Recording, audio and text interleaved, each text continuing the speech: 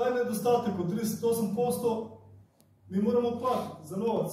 Ne možete energiju dobiti robnom razmjenu, to ne ide, morate kupiti energiju. U Njemačkoj postoji burza električne energije u Leipzigu. Kogod ima novca, dovoljno novca ode u Leipzig i kupi struju.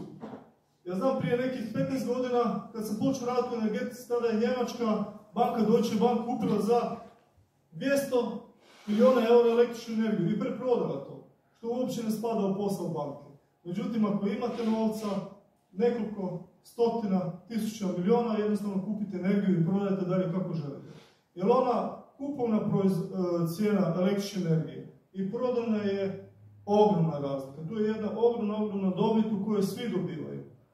Uzmimo primjer, prije 10 godina u Njemačkoj se kupovala struja po 3 centa u Leip, znači na burzi struje u Leipzigu.